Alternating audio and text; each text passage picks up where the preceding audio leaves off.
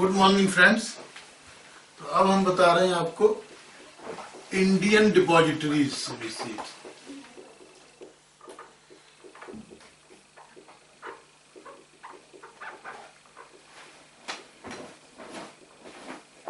तो ये जो इंडियन डिपॉजिटरी रिसीट्स हैं, ये इशू की जाती हैं issued by foreign company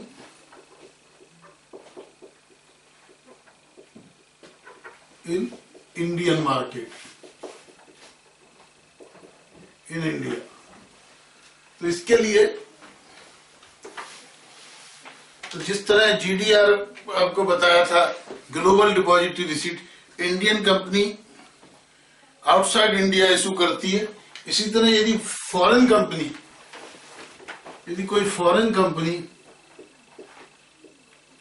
India में शेयर इशू करती है इंडिया में शेयर इशू करती है तो that is called Indian depository receipts तो इसके लिए नए कंपनी एक्ट का section 390 of companies act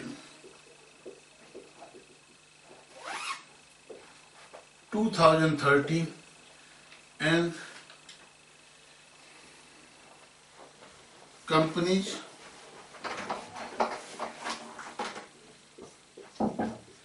registration of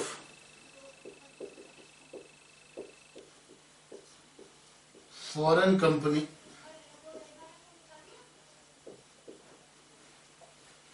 rules 2014 prescribe the procedures about the Indian depository receipts. Okay.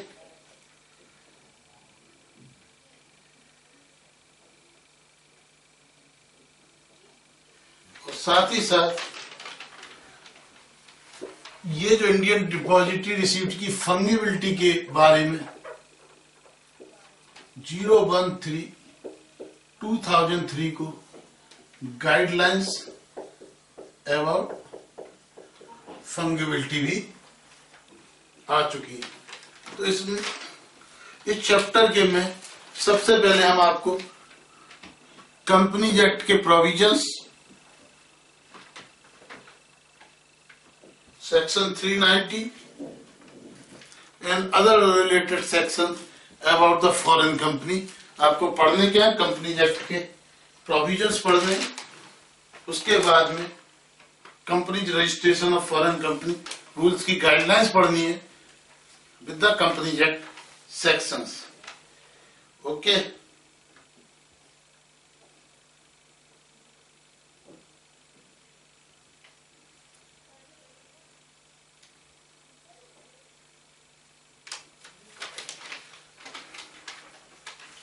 तो ये जो इंडियन डिपॉजिटरी रिसीट्स के लिए जो भी एफडीआई रूल्स हैं सॉरी जो भी आरबीआई रूल्स हैं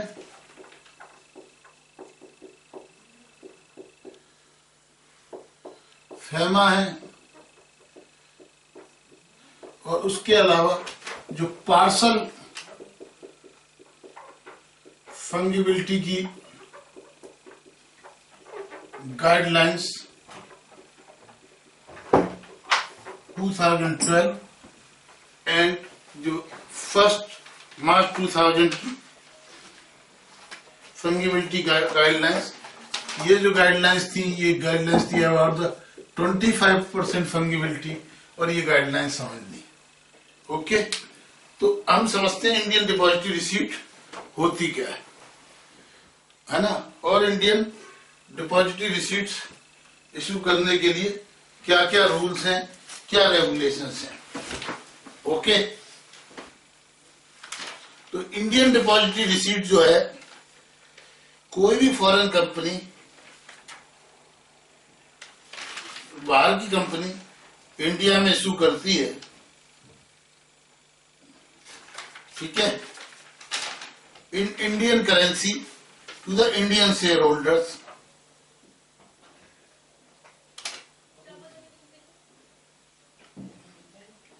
ठीक है?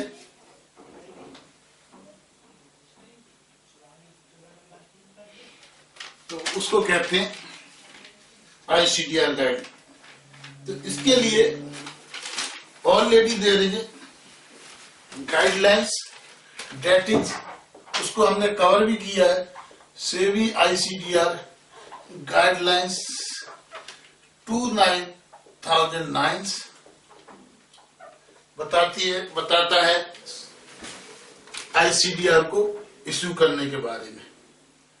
ओके इसके अलावा rule thirteen of companies registration of foreign company rule registration of foreign company rule 2014 and section 390 of companies act ठीक है? अब इसकी रिक्वायरमेंट क्या क्या है? ये समझनी। ये बात तो समझ में आ गई कि ये जो इंडियन ये जो है, बाहर की कंपनी इंडिया में इशू करती है। हालाँकि अभी तक एक भी इंडियन डिपॉजिट की रिसीट इशू नहीं करी।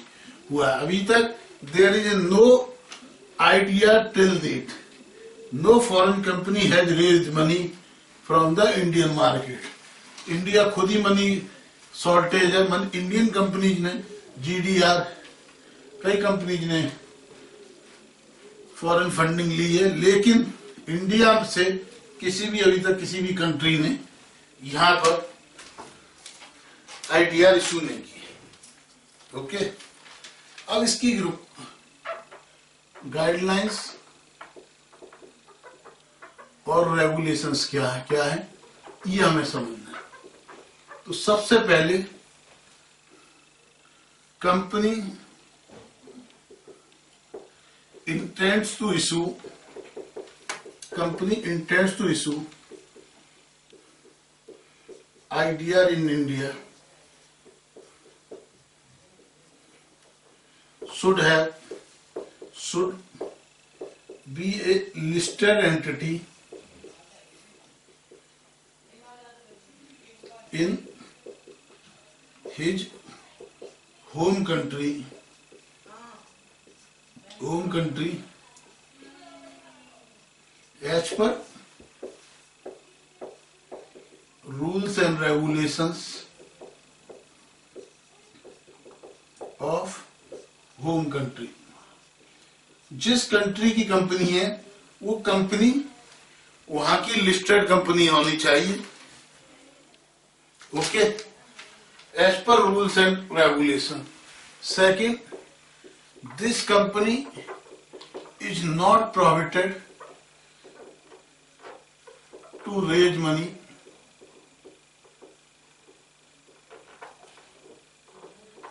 in his home country in his home country or outside home country? By that country. उस कंट्री से प्रोविटेड नहीं होना चाहिए। तीसरा no not prohibited by India यहाँ भी कुछ ओसीबी को इंडिया प्रोविट कर सकती है। नॉट प्रोविटेड बाय इंडिया ना तो वो अपने कंट्रीज़ में प्रोविटेड हो, ना ही इंडियन कंपनी ने कोई ऐसी प्रोविज़न लगाई हुई ओके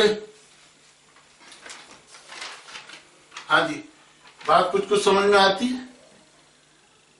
ये कॉपी किया? तो हम इसको इरेज करते हैं और आगे बताते हैं। Next is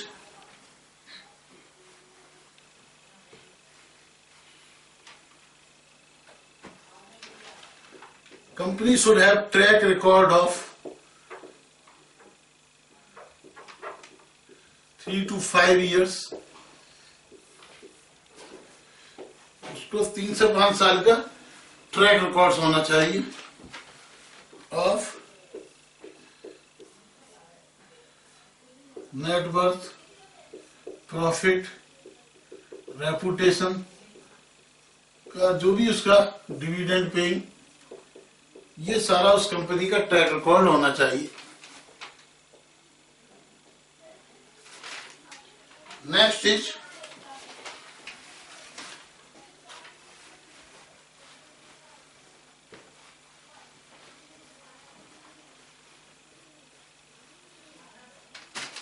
इशू साइज़ कम से कम 50 करोड़ हो। कम से कम इशू साइज़ 50 करोड़ होना चाहिए और minimum subscription amount minimum subscription amount twenty thousand होनी चाहिए। इशू साइज़ होना चाहिए कम से कम पचास करोड़ और मिनिमम एप्लीकेशन ट्वेंटी थाउज़ेंड ठीक है? और क्या क्या होना चाहिए?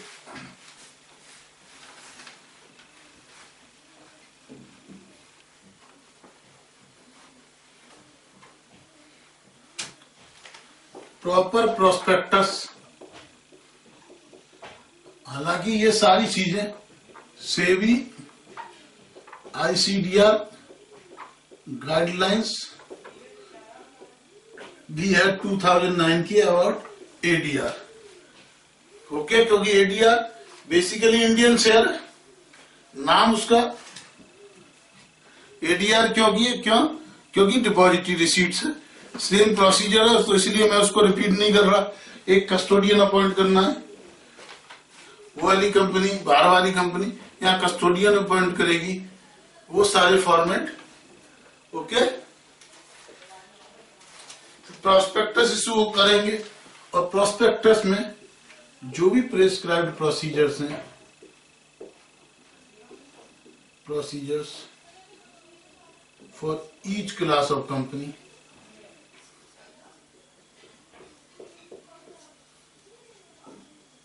सारे prescribe procedure for each class of company भी देने इसके अंदर ज़रूरी है।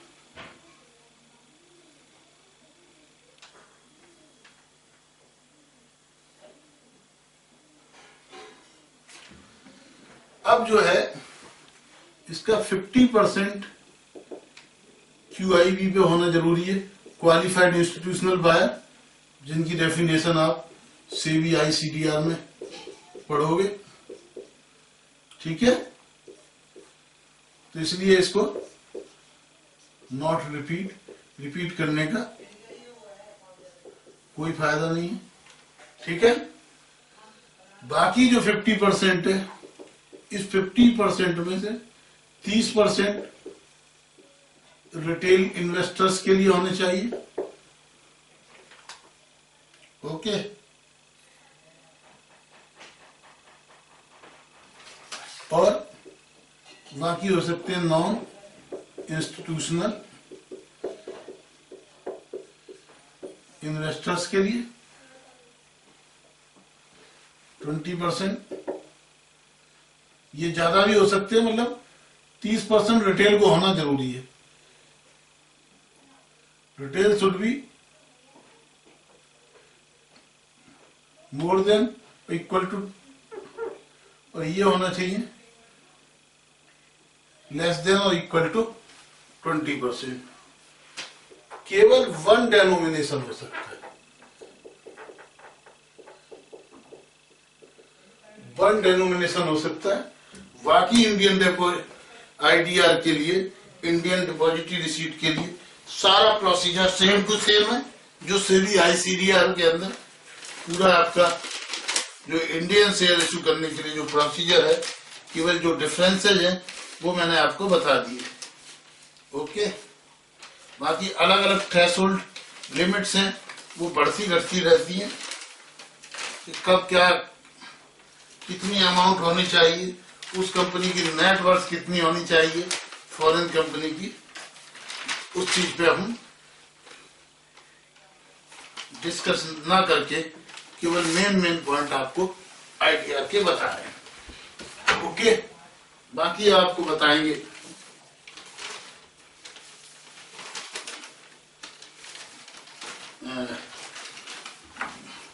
इसके तुरंत बाद आपको पूरा रेगुलेशन, पूरे सेक्शंस कंपनी एक्ट में फॉरेन कंपनीज़ के बारे में। तो ये आप नोट कीजिए, उसके बाद आप समझिए फॉरेन कंपनी के बारे में एज पर कंपनी एक्ट ठीक है? तो इसको हम इतना ही कंक्लूड करते हैं। वहाँ की प्रोसीजर सेम है। वो आपको SEBI ICDR guidelines S C R act इनको पढ़ने के बाद में आपके इसके क्वेश्चंस सॉल्व हो जाएँगे एग्ज़ाम पर्पज के लिए। Thank you thank you very much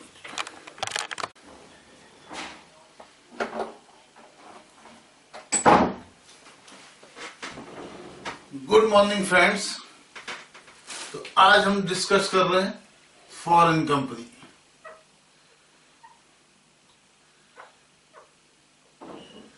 foreign company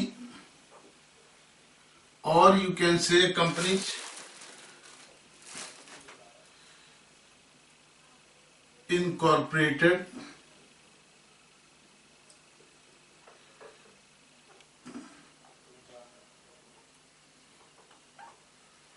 outside India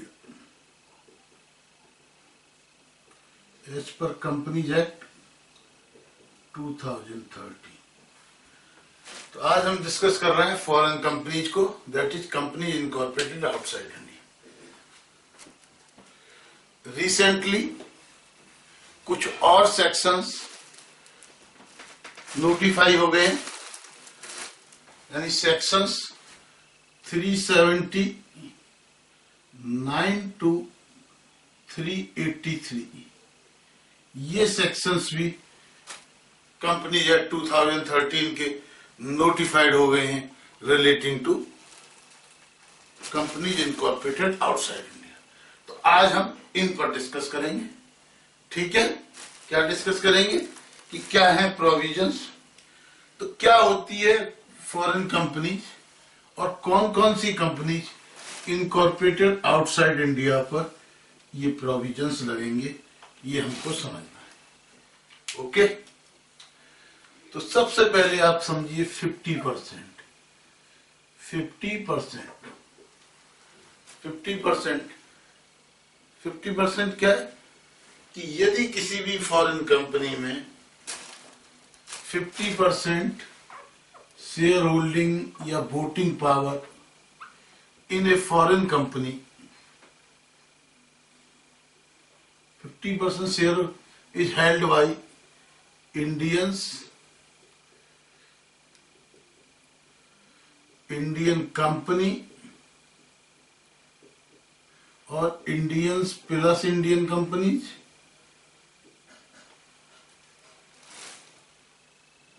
okay तो इन तीनों टाइप की जो कंपनीज़ हैं, इन कंपनीज़ पर, इन फॉरेन कंपनीज़ पर प्रोविजंस लगेंगे कौन से? इंडिया वाले। सारे इंडिया वाले just like an Indian company सारे इंडिया वाले प्रोविजंस लग जाएँगे। यदि वो कंपनी के अंदर 50 परसेंट और मोर 50 परसेंट और मोर शेयर्स या voting power is hold by Indians Indian companies और इंडियन और इंडियन कंपनी ज्वाइंटली ओके तो ये हमारा कहता है सेक्शन 379 ऑफ़ कंपनीज़ एक्ट 2030 कि जो भी फॉरेन कंपनी होगी, यदि उसके अंदर 50 परसेंट शेयर होल्डिंग्स होगी, किसकी? इंडियंस की इंडियंस कंपनीज़ की, या इंडियन एंड इंडियन कंपनीज़ को मिलाकर तो उनके ऊपर प्रोविजंस लग जाएँगे। फॉरेन कंपनीज़ पर जिस तरह सारे कंपनी एक्ट के प्रोविज़न इंडियंस कंपनी पर लगते ठीक है? यहाँ तक हम लोगों को समझ में आया? यस अब हम चलते हैं सेक्शन 380 पर। ये क्या कहता है सेक्शन 380 सेक्शन 380 कहता है कि जिस दिन ये company act company act 2000 applicable हुआ जिस दिन। ठीक है? तो जिस दिन ये कंपनी एक्ट के प्रोविजंस आपको पता है, कुछ तो एप्लीकेबल हो गए थे 12 सितंबर 2000 से। कुछ एप्लीकेबल हो गए थे फ़र्स्ट अप्रैल 2014 से। कुछ अभी होते जा रहे हैं। अंडर प्रोसेस तो ये एक्ट कहता है कि जिस दिन से कंपनीज़ एक्ट के प्रोविज़न एप्लीकेबल होते हैं, उसके 30 दिन के अंदर within thirty days within thirty days तीस दिन के अंदर जो भी फॉरेन कंपनी है, उस फॉरेन कंपनी को क्या करना है? उसको सबमिट करना पड़ेगा। अपना कोई भी जो चार्टर है, या मेमोरेंडम ऑफ़ एसोसिएशन है, या आर्टिकल्स ऑफ़ एसोसिएशन है, जिस भी कंट्री के अंदर, किसी के अंदर चार्टर एमओए एओए या इन वाट एवर नेम इस तरह की चीज़ इस तरह, जिसमें रूल्स, रेगुलेशंस लिखी होती हैं, ऑब्जेक्टिव्स लिखे होते हैं एम्स एंड ऑब्जेक्टिव जिसके अंदर होते हैं, इस तरह का कोई भी चार्टर किसी भी तरह का डॉक्यूमेंट्स मेमोरेंडम है तो विद इन थर्टी डेज़ ये गवर्नमेंट यानी रजिस्ट्रार को ऑफ़ कंपनीज़ को सबमिट करना होगा। साथ ही साथ हर ऐसी कंपनी को अपने एड्रेस एड्रेस कौन कौन से? Registered office, and principal office. Registered office जो हम हामी रजिस्टर्ड है और जो प्रिंसिपल ऑफ़िस इंडिया में है, ठीक है? ये एड्रेस देना होगा, साथ ही साथ उसको सबमिट करनी होगी लिस्ट।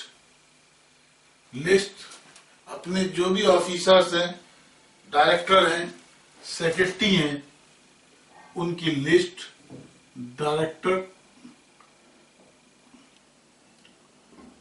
एंड सेक्रेटरी जो भी डायरेक्टर हैं, जो भी सेक्रेटरी हैं, उनकी लिस्ट सबमिट करनी होगी okay okay?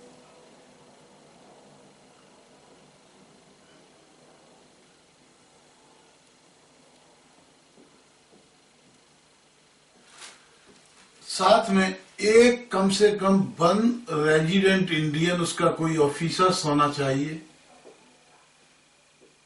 One resident Indian का नाम who is authorise to take notice यदि कोई भी authorise to receive letter etcetera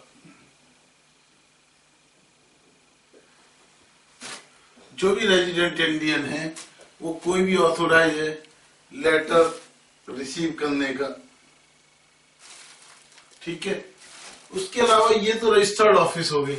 इसी तरह principal place of the full address of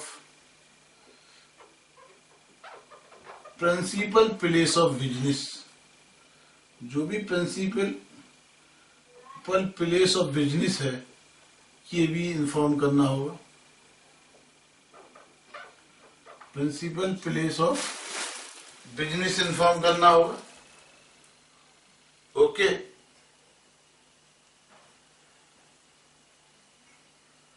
और इन, जब भी कोई नया बिज़नेस खोलेंगे या बंद करेंगे, ठीक है? अब opening and closing of principal place of business जब भी प्रिंसिपल प्लेस कोई नया खोलेंगे या नया, नई जगह से काम शुरू करेंगे, नई ब्रांच खोलेंगे, वो इंफॉर्मेशन करनी होगी। इसके अलावा सबसे इम्पोर्टेंट हमें एक डिक्लेरेशन देनी होगी।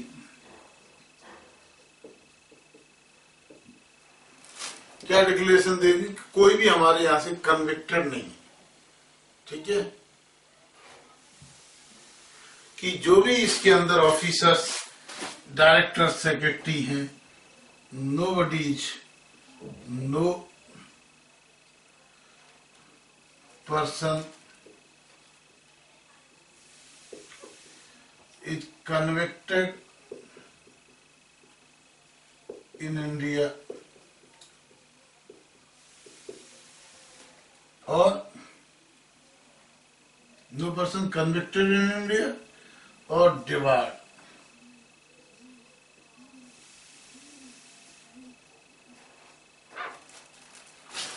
ना तो कोई पर्सन कन्विक्टेड है इंडिया में और ना ही ही इज़ डिवाइड फ्रॉम कंटेस्टिंग ओके हालाँकि यदि पुराने कंपनी एक्ट के सेक्शन 592 ऑफ़ कंपनीज़ एक्ट 1956 के अंदर यदि नोटिस दी, पहले ही इंफॉर्मेशन ये सब दे दी है, क्योंकि पुराने कंपनी एक्ट के सेक्शन 592 के अंदर भी ये सारे प्रोविजंस थे। अगर उस प्रोविजंस के अंदर ये सारी इंफॉर्मेशन दे दी है तो दोबारा देने की ज़रूरत नहीं है। अगर नहीं दी गई है तो जिस दिन से ये एक्ट आया थर्टी डेज़ के अंदर ये सारी इंफॉर्मेशन आपको दे देनी ओके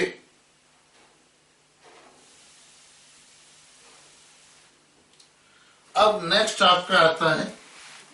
जिस तरह इंडियन कंपनी है, आपको पता है इंडियन कंपनीज़ को एवरी ईयर ऑडिट कराना होता है balance sheet P and L submit करना होता है आरओसी को। तो क्या इस केस में भी फॉरेन कंपनी को भी सबमिट करना पड़ेगा? हाँ जी। लेकिन उस फॉरेन अभी हमको क्या करना होता है कंपनी एक्ट 2013 कहता है कि सभी कंपनियों के लिए,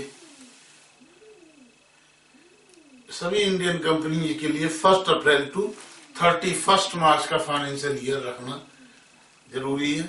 लेकिन फॉरेन फॉरेन में जनरली कैलेंडर ईयर बहुत सारे कंट्रीज़ में फॉलो किया जाता है। इसलिए section 381 of new company act क्या कह रहा है कि हर एक फॉरेन कंपनी को balance sheet and P and L ROC को फ़ाइल करनी है फॉर ए कैलेंडर ईयर ये ध्यान रखने वाली बात है कि अदरवाइज़ इंडियन कंपनी को अब कंपलसरी अकाउंट्स रखने पड़ेंगे। Compulsory thirty first March will be the closing year लेकिन in this case it has been ठीक है? मेड कैलेंडर ईयर क्योंकि फॉरेन में बहुत सारे कंट्रीज़ में मेजोरिटी में कैलेंडर ईयर चलता है, इसलिए यहाँ कैलेंडर ईयर स्पेसिफाई किया गया है। हालाँकि central government by notification in the gazette notification किसी भी क्लास को मे एग्ज़ाम किसी कंपनी को इस रिक्वायरमेंट से, किसी भी फॉरेन कंपनी को एग्जामेशन दे सकती है भाई। फॉरेन कंपनी को कि आपको, ठीक है?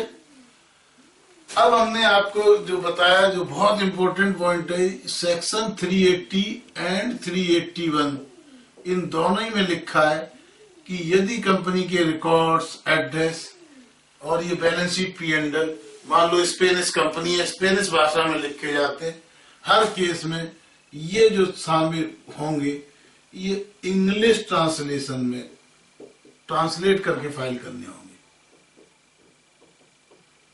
इंग्लिश में ट्रांसलेट करना पड़ेगा, क्योंकि हमें किसी भी भाषा के डॉक्यूमेंट्स होंगे, वो सब ट्रांसलेट करना है। किसमें इंग्लिश में। ओके साथ ही साथ इस डेट को जिस जिस डेट का कैलेंडर ईयर का, जिस डेट की बैलेंस डेट है, उस डेट की बैलेंस डेट को जो जो प्रिंसिपल प्लेस ऑफ़ बिज़नेस है,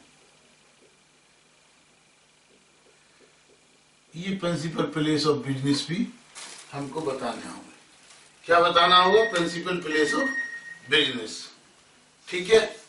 अब इसके साथ साथ नेक्स्ट सेक्शन कहता है सेक्शन 382 कि हमें बाहर एक बोर्ड भी लगाना पड़ेगा। जो भी कंपनी है कंपनी का एक बोर्ड लगता है। हाँ जी। तो यहाँ वो कहता है कि यदि हम बोर्ड लगाएँगे तो जो बोर्ड है सेक्शन 382 कहता है, जो बोर्ड होगा डिस्प्ले ऑफ़ फॉरेन कंपनी जो फॉरेन कंपनी का बोर्ड होगा, ठीक है? ये जहाँ जहाँ फॉरेन कंपनी का कोई भी ऑफ़िस होगा, हर ऑफ़िस पर एवरी ऑफ़िस हर ऑफ़िस पे क्या होगा? बोर्ड होगा। बोर्ड में क्या क्या लिखा होगा? बोर्ड में वो कंपनी का कंट्री का नाम लिखा होगा फॉरेन कंट्री कौन सी कंट्री का है? फॉरेन कंट्री का नाम लिखा हो लिखा होगा ठीक है? साथ ही लिमिटेड वर्ड लिखा होगा यदि वो लिमिटेड कंपनी है। ठीक है? साथ ही साथ जितनी कंपनी के लेटर हेड है, इसमें भी कंट्री का नाम और लेटर हेड लिमिटेड वर्ड लिखा जाएगा। और ये लिखा जाएगा किसमें? इंग्लिश लैंग्वेज में।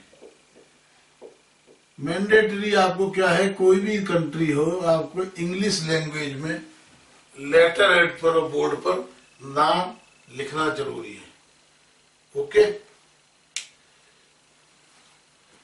इसके अलावा लास्ट सेक्शन रह गया 383 ये कहता है कि जो 380 के अंदर सेक्शन 380 में हमने आपको क्या बताया था? कि एक PRI person resident in India को ऑथोराइज किया जाएगा। ऑथोराइज किया जाएगा किसके लिए? टू रिसीव नोटिस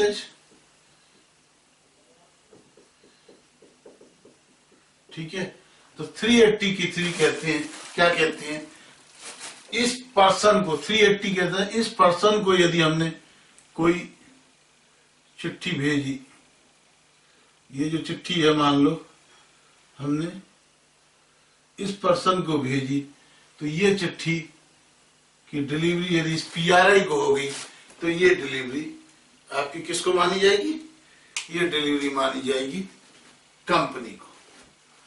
ओके तो ये हमने आपको बताया प्रोविज़न चैप्टर ट्वेंटी टू के फॉरेन कंपनी के बारे में।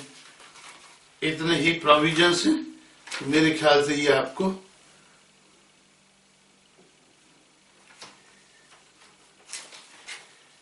कुछ आते हैं समझ में?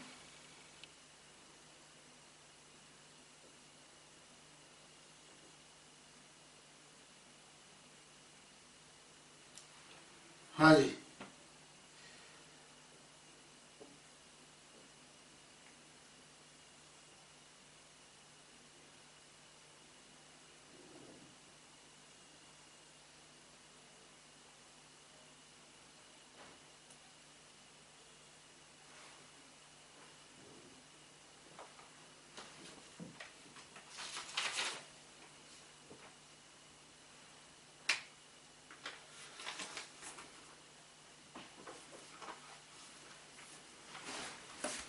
हाँ जी भाई सब समझ में आया? यस तो अब हम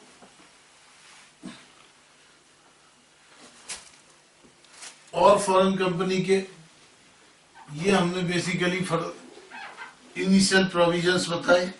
अब हम आपको बताते हैं कुछ फर्दर सेक्शंस फॉरेन कंपनी के बारे में। That is sections 385 to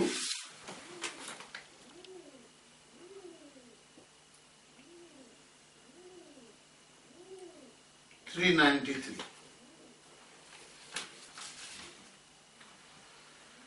अब आपको सिवरन कंपनी के कुछ सेक्शंस हैं 385 टू 393 ये नाइन सेक्शंस आपको और पढ़ने, आपका फॉरेन कंपनी वाला चैप्टर पूरा का पूरा कंप्लीट होगा। सेक्शन 385 क्या कहता है? ये सेक्शन 385 कहता है कि जिस तरह इंडियन कंपनीज़ पर फ़ीस प्रेस्क्राइब होती है filing of the document foreign company से भी रजिस्ट्रार ऑफ़ कंपनीज़ फ़ीस ले सकता है। ठीक है?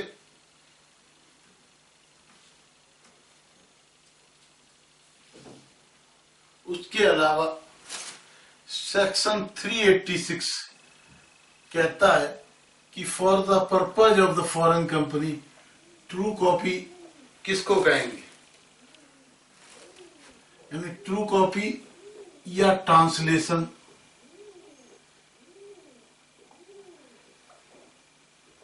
जब भी कभी सर्टिफाइड कॉपी बांटी जाएगा तो या तो ट्रू कॉपी प्लस ट्रांसलेशन इसको सर्टिफाइड कॉपी कहा जाएगा केवल हमने उसकी फ़ोटो का भी ट्रू कॉपी कर दी।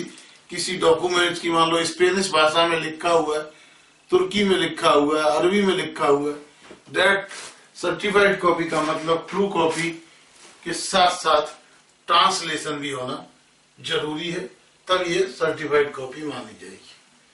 इसके अलावा इसमें डेफिनेशन में दिए हुए डायरेक्टर्स अब हमारे यहाँ डायरेक्टर्स कहे जाते हैं, कहीं कोई और नाम हो सकता है चांसलर हो सकता है प्रेसिडेंट हो सकता है अलग अलग एक्ट में कुछ भी हो सकता है। तो डायरेक्टर्स की डेफिनेशन इसके अंदर दी हुई है कि for the purpose of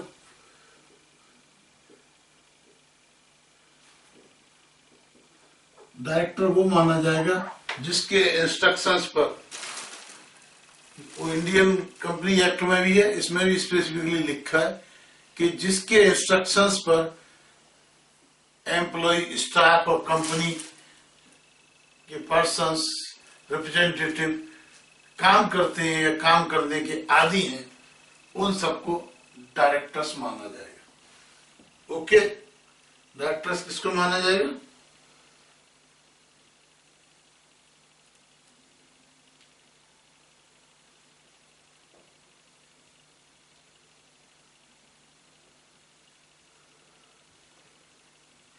ठीक है?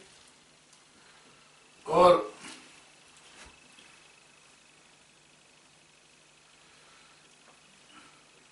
प्रिंसिपल प्लेस ऑफ़ बिज़नेस जहाँ से भी काम होता है, उसको प्रिंसिपल ऑफ़ बिज़नेस माना जाएगा, चाहे वो डिक्लेयर किया गया हो ना, नहीं। क्लियर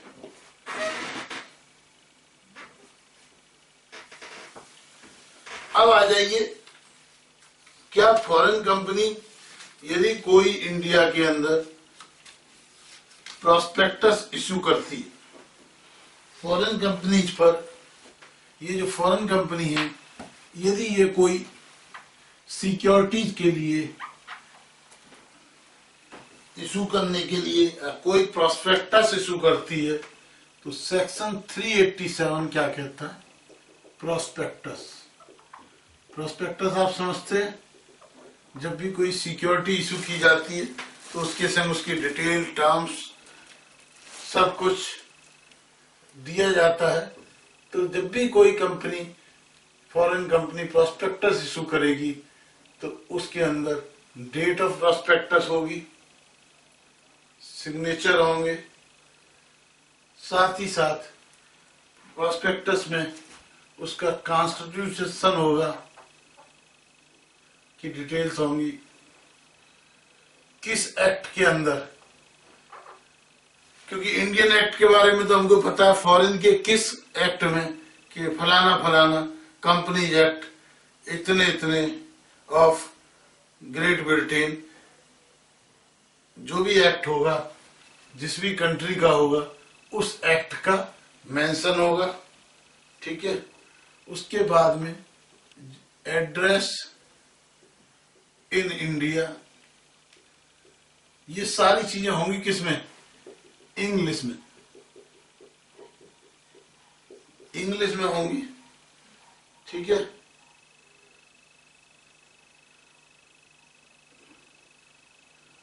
डेट ऑफ़ इनकॉर्पोरेशन किस डेट को इनकॉर्पोरेट हुई? Date of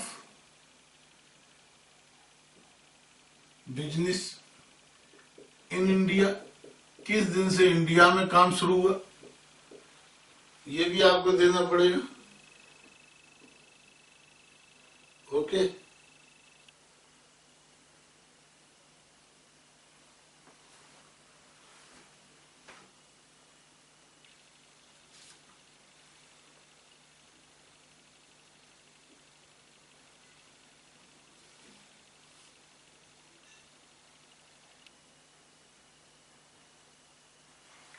और इसका जिस तरह हम लोग रजिस्ट्रेशन कराते, वो प्रोस्पेक्टस को रजिस्ट्रेशन होगा विद आरओसी किसी भी तरह का waiving of registration with ROC is not permissible यदि सारे शेयर होल्डर्स भी कहते हैं पास कर देते हैं कि भाई ये विदाउट रजिस्ट्रेशन हो जाए waiving of the registration is not possible okay उसके अलावा जो शेयर एप्लीकेशन फॉर्म है, वो भी फॉरेन कंपनी को जिस तरह इंडियन कंपनी बनाती है, उसी हिसाब एक्ट के अनुसार बनाना पड़ेगा। Underwriting is not permitted foreign company अपने शेयर्स का की अंडर राइटिंग नहीं कर सकती।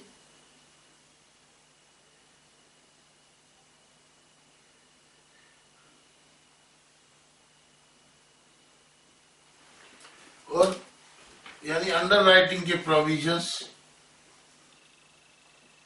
नॉट एप्लीकेबल लेकिन इस एक्ट के आने से पहले यदि कोई एग्जिस्टिंग प्रोस्पेक्टस है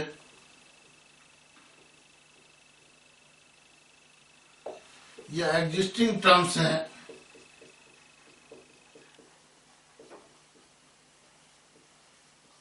तो वो कंटी कंटिन्यू रहेंगी।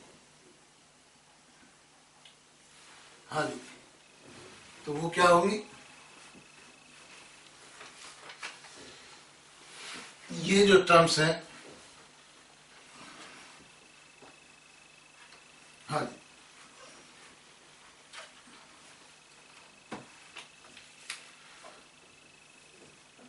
अगर अंडर राइटिंग एप्लीकेबल नहीं होगी, लेकिन एग्जिस्टिंग यदि कोई प्रोविजंस है एग्जिस्टिंग प्रोस्पेक्टस या एग्जिस्टिंग इशू है, पहले से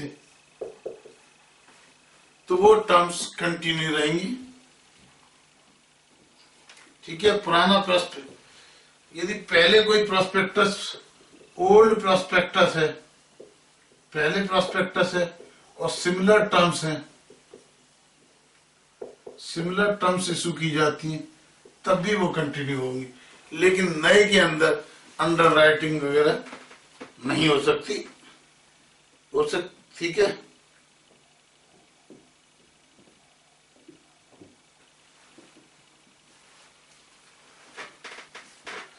इसके अलावा 388 यदि कोई एक्सपर्ट जैसे अकाउंटेंट वैल्यूअर की रिपोर्ट है तो उसका जो यदि कोई स्टेटमेंट है तो उसके सिग्नेचर्स ऑथोराइजेशन ज़रूरी है। यदि किसी एक्सपर्ट का नाम लिया गया है प्रोस्पेक्टस के अंदर तो उसके सिग्नेचर उसकी return undertaking return statement is mandatory साथ ही साथ 389 के अंदर 389 कहता है, रजिस्ट्रेशन इज़ मैंडेटरी मैंडेटरी, और यदि इंडियन पब्लिक से पैसा मांगना जाता है तो जो आईडीआर, इंडियन डिपॉजिटरी रिसीट के लिए जो सेवी की गाइडलाइंस है, वो फॉलो करनी होंगी। ओके जिस सेबी ने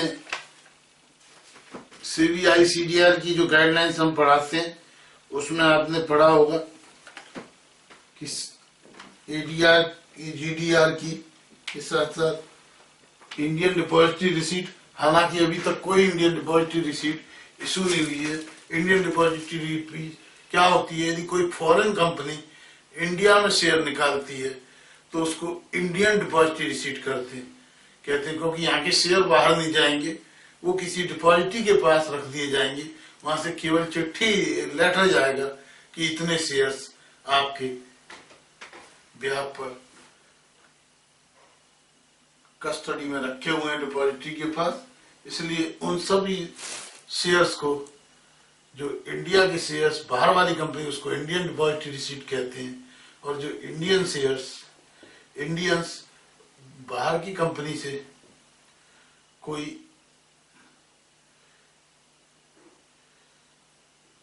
यानी इंडियन कंपनी कोई, मान लो न्यूयॉर्क में या आउटसाइड इंडिया कोई शेयर इशू करती है तो उसको या तो ग्लोबल डिपॉजिटरी रिसीट करते हैं, कहते हैं, या अमेरिकन डिपॉजिटरी रिसीट करते हैं। ग्लोबल डिपॉजिटरी रिसीट में पब्लिक से पैसा ले सकते हैं ग्लोबल डिपॉजिटरी रिसीट में जनरल पब्लिक से पैसा नहीं ले सकते। केवल वहाँ के फाइनेंशियल इंस्टीट्यूशन कॉरपोरेट से पैसा ले सकते हैं, लेकिन एडीआर के अंदर एक आम सिटीजन से भी पैसा लिया जा सकता ओके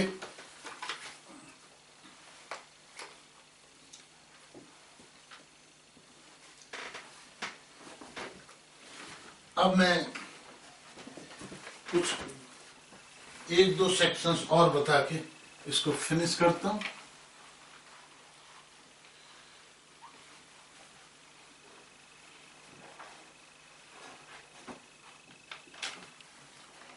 सेक्शन 391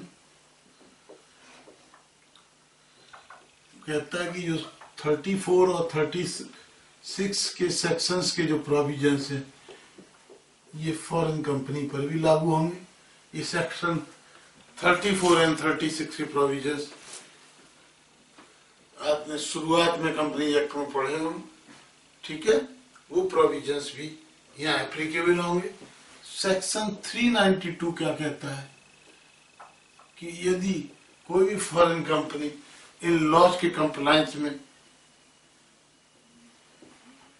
जैसे कोई भी वायलेशन करती है तो एक लाख से तीन लाख रुपए का fine plus fifty thousand rupees per day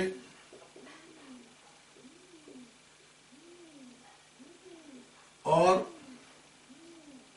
six month imprisonment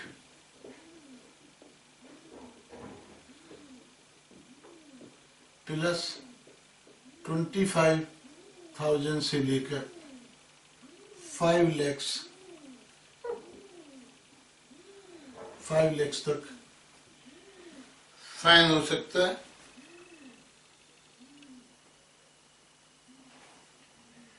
okay? तो ये जो है आपका फिनिश होता है। Foreign company. ठीक है? नेक्स्ट चैप्टर में नेक्स्ट लेक्चर में हम आपको गवर्नमेंट कंपनी कराएँगे. Thank you thank you